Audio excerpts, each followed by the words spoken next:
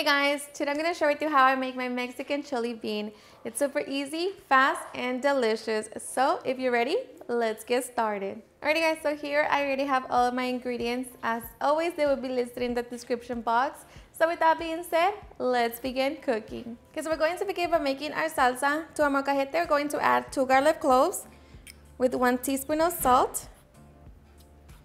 And we're just going to begin to smash our garlic down until they have turned into a paste. Okay, so once we have smashed down our garlics, we're going to add our chiles serranos. I'm using six.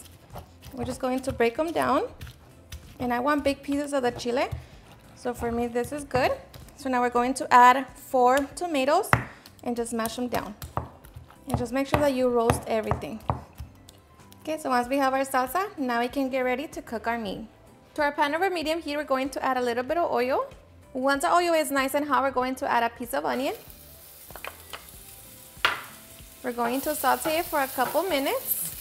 After a couple minutes, we're going to add two pounds of ground beef. We're going to season with two teaspoons of garlic salt, one teaspoon of black pepper, half a teaspoon of ground cumin, and a little bit of salt.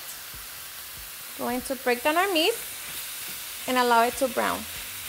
After five minutes, our meat should have browned. So now we're going to add three cups of pinto beans.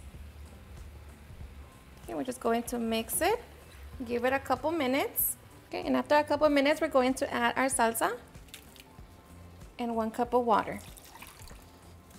Mix it again and bring it to a simmer. Once it comes to a simmer, taste it for salt and see if you need to adjust it. For me, this is perfect, so now we're just going to allow it to continue simmering for another 10 minutes. Okay, and after 10 minutes, we can now get ready to serve.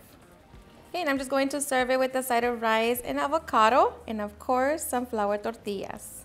Alrighty guys, and now for the best part, the taste test. Now let me tell you guys that I hope you give this recipe a try. It's seriously super easy to make on a budget in under 30 minutes. So it is perfect, and of course, everyone gets to enjoy it. So I am so ready. Got my tortilla. Let me tell you, this is seriously so flavorful. So hope you give it a try and enjoy it just as much. Cheers and enjoy.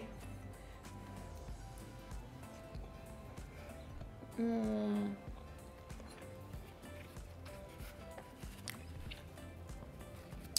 So good. Mm-hmm. It's so delicious. Mm. Mm-hmm.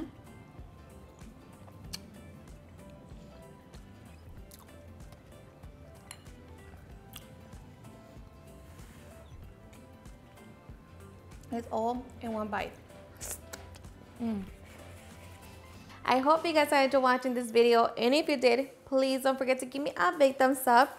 Share with your friends and family. And if you recreate this recipe, please don't forget to tag me in any of my social medias.